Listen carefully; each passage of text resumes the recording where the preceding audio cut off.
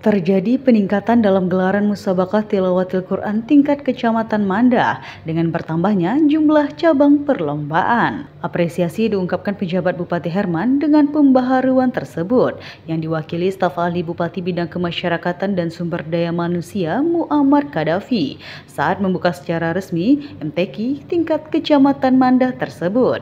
Disampaikan staf ahli dengan penambahan cabang lomba ini diharapkan bertambah pula talenta yang berkembang. Nah, ternyata seperti yang Pak Camat sampaikan tadi, karena pada musabakah tilawatil Quran ke-54 ini dibukalah beberapa cabang-cabang baru. Salah satunya adalah Al Al-Barsanji juga diikutkan. Nah, jadi dengan banyaknya dewan hakim tadi yang membidangi masing-masing bidang mudah-mudahan akan tersaringlah anak-anak kita yang benar-benar memiliki talenta dan kemampuan. Sementara Camat Manda berharap adanya peningkatan cabang lomba dapat membuka peluang kemenangan lebih besar di ajang MTQ tingkat kabupaten.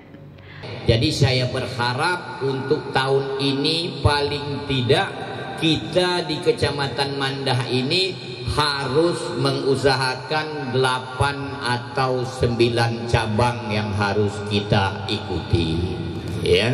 Jadi kalau bahasa kita tak banyak sangat yang lubang-lubangnya gitu kan. Masalah prestasi masalah hasil tentu kita menginginkan yang terbaik.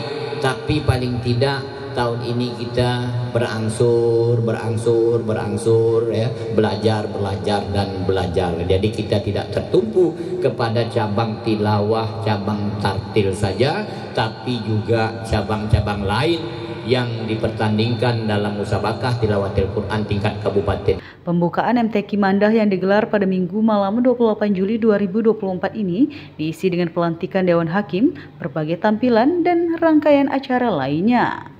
Dari Kecamatan Manda, Nirma Redisa dan Rian Hidayat melaporkan untuk Gemilang Televisi.